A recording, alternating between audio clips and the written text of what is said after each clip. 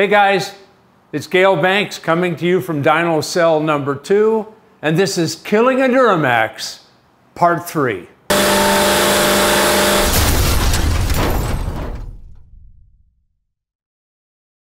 Or what we're going to look at today is why this turbo is out to lunch. We've got instrumentation to look at the compressor and where it is in its capabilities. So we're measuring temperature and pressure in and out of the compressor. And then on the turbine side, we're also measuring temperature and pressure into and out of the turbine.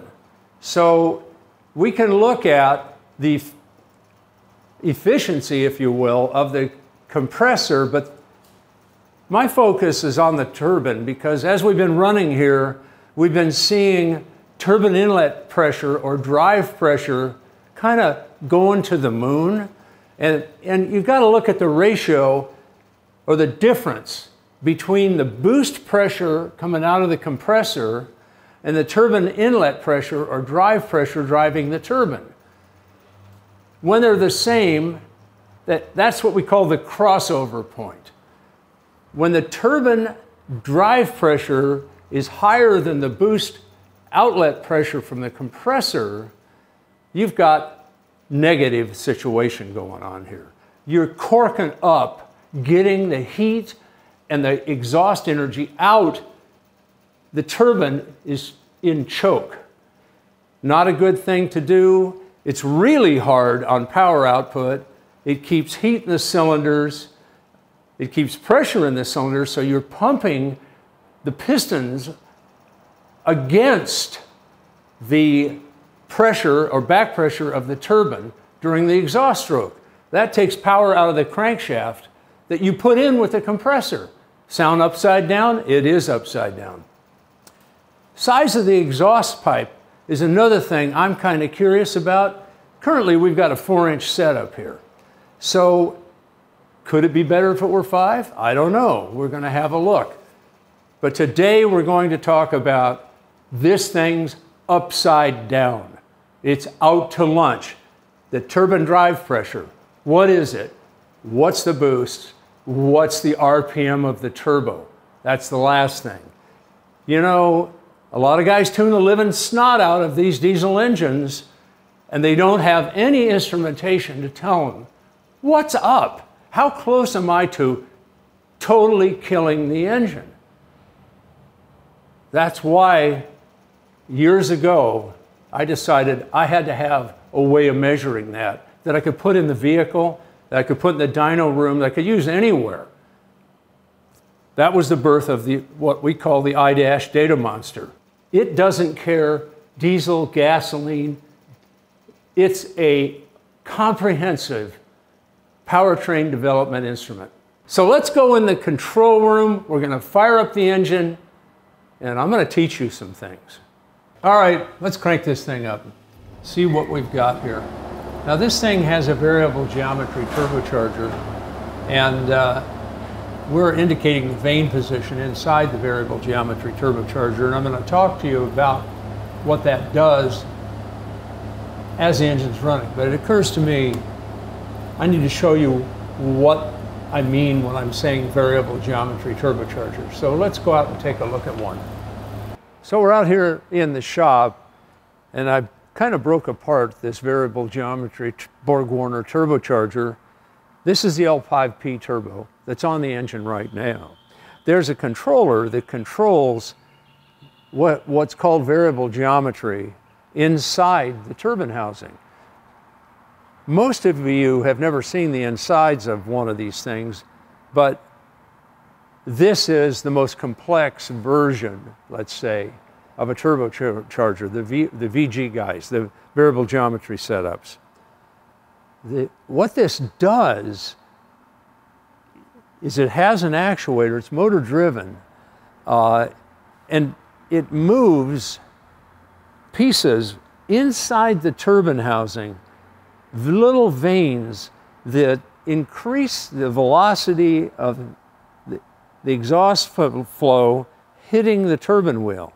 So at low speeds, these vanes can be actuated and now it vectors the exhaust flow onto the turbine wheel like turning down the nozzle on your garden hose. You've got kind of lower flow, but you've optimized it. Now that stream is hitting with more impact if, if you shoot it against a wall. Well, the wall in this case is the outer perimeter of the turbine wheel. The exhaust gas flows into the turbine wheel, does its work, and flows out to, the, your, to your exhaust system. This is full open. This is full closed. At low speeds, where you have low exhaust flow available, this allows you to have better turbocharger response, minimal turbo lag. That's what it's all about. It also helps you control the speed and the airflow for emissions purposes. This device makes your truck much more drivable and much more responsive to the throttle, but it has an evil backstory, and that is it increases the pressure into the turbine or the back pressure acting on the pistons on the exhaust stroke. As you close this and get better speed, you increase the pressure called drive pressure into the turbine inlet. That's really negative. Okay, you just saw the geometry moving out on the bench. Let's watch it move right here on the instrument. We're at a light load we're about 780 RPM. The vane position is about 5%. The vanes will close under acceleration to kick the turbo in the ass and get the shaft speed up. So Aaron, let's just give it a throttle bang and watch the vane position, then just gradually pull it back. So there you go, 90%. Did you see that, guys? So now he's pulling it back, holding around 2,500 RPM. So you saw that blip. Let's just punch it one more time. There it did it again, went to 70. So whenever you ask for turbocharger, instantaneously those vanes move. I mean, it is rapid. That Borg Warner controller is the bomb. That thing really works well. Let's take this thing up to 500 pound feet at 1500 RPM. And what we'll watch, uh, this instrument specifically is what we're watching right now. Uh, we're going to compare the turbine inlet pressure or drive pressure to the compressor outlet pressure. In other words, those two comparisons. And we do that in pounds per square inch absolute. So the numbers are from a perfect vacuum. I don't do negative pressure you know, all pressure is positive, so I use absolute. So the two numbers we're comparing uh, are well above the 14.7 standard day atmospheric pressure, 14.7 pounds per square inch. We're at 500, uh, it's looking good, 1500. Turbocharger speed is around 65,000 RPM. Our red line on this pup is around 132 we've bumped into that red line already and kind of poked through it a couple of times. We're going to try to stay away from that here. Our turbine inlet pressure, here we're pulling like 145 horsepower, 500 pound feet, 1500 RPM. Turbine inlet pressure is 22 and a half, and the turbine outlet, uh, compressor outlet pressure is 23.6. So the compressor out is higher than the turbine inlet pressure. That's positive. When the two are equal, we call it crossover.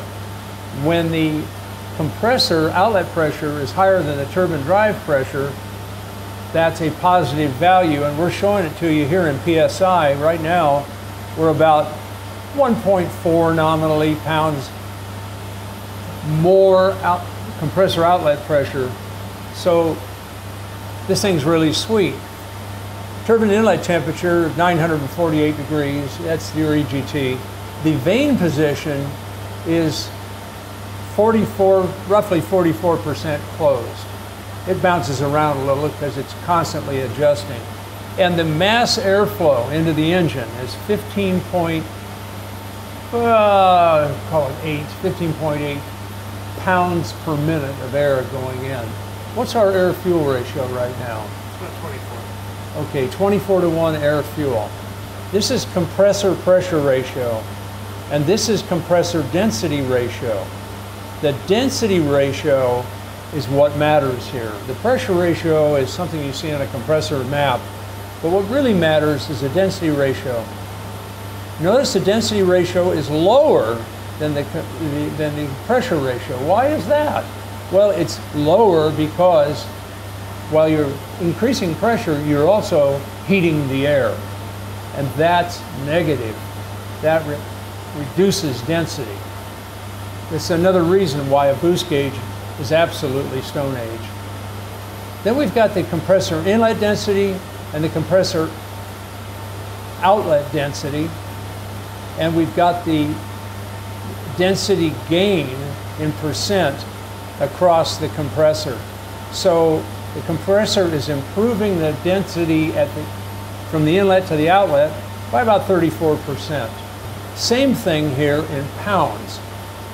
When we're talking about tuning an engine, we're mixing pounds of air with pounds of fuel. So I'm going to give you what the compressor is doing in increasing the pounds of air per thousand cubic feet.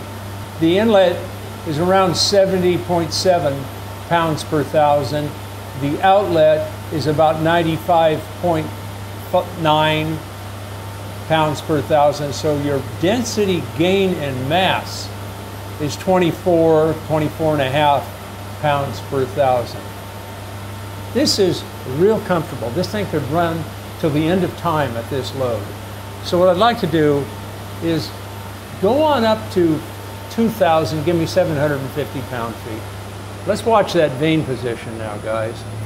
It had to close the vanes to get the density needed to make the power.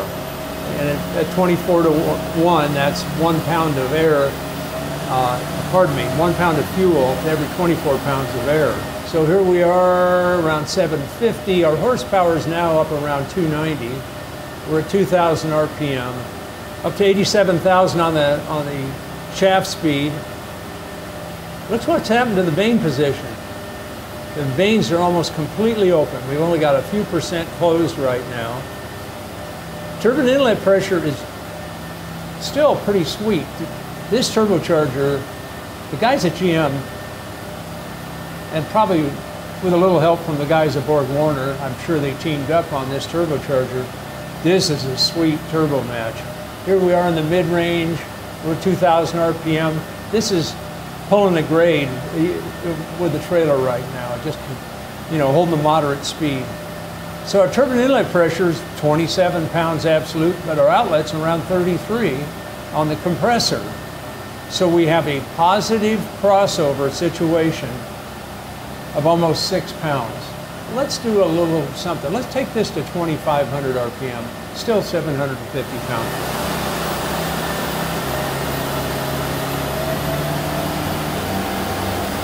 This is going to be interesting.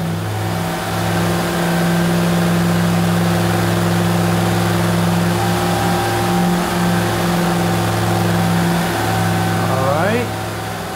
Now we're over 100,000 RPM in the turbocharger. And the turbine inlet pressure and the compressor outlet pressure almost match. Our drive pressure into the turbine is up almost a pound. Vane position is about zero. And our EGT is about 1090. Everything's safe here. The manifold airflow is about 45, 46 pounds per minute. So let's go to 3,750 pound feet. We'll kind of look at that drive pressure versus compressor discharge pressure and see how it is. I think we're going to come out here very close to the factory power rating, which is 445. There's 100,000 RPM on the turbocharger. We're still comfortable. And we're coming up to 750 on the torque. Okay, 107,000 RPM right now. We're about almost 10 pounds negative uh, turbine in, uh, drive pressure versus compressor out pressure. It's still usable. It's nice. The turbine inlet temperature 1180 degrees Fahrenheit.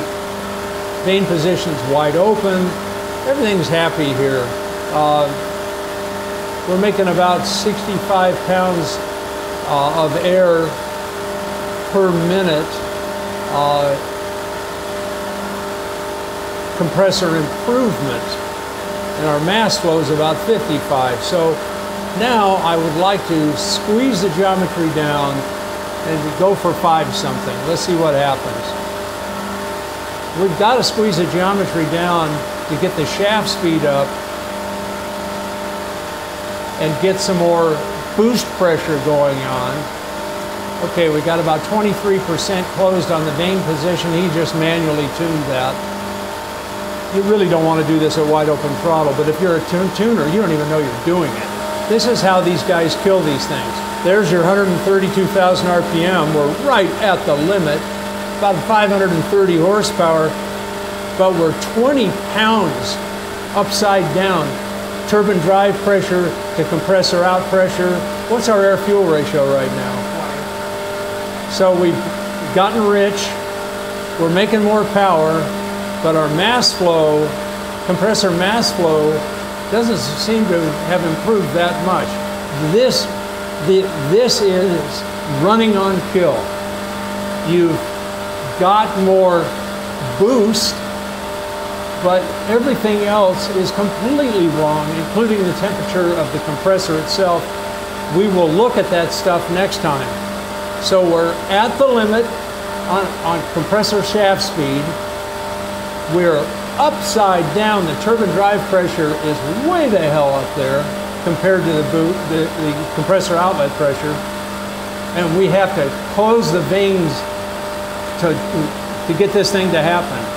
That's holding heat in the engine. It's holding pressure against the pistons on the exhaust stroke. It's pulling power out of the crankshaft to support all this upside down situation with the turbo. This is what I wanted you to see. The turbo is out to lunch. It's over. Time to think about more turbochargers. Hey, what's with the coolant flow? You know what? I think we need to look at coolant flow, temperature gain across the engine, coolant. Something's whack there. That number should be much higher than 44 gallons a minute. I think we ought to back out of this and call it a day. Told you there'd be other systems that might cause some issues. We got to catch that kind of stuff if we're going to get where we want to go. See you next time. We'll talk about compressor efficiency, we'll talk about turbine efficiency, and we'll talk about turbine expansion ratio. These are things you might have heard of, but I guarantee you, you've never read them on an instrument like this, or any instrument for that matter. This is what you can do with a DataMonster. Loving it. I've got so much more to go, guys. Stay tuned and subscribe, and you'll have some fun. I know I'm having fun.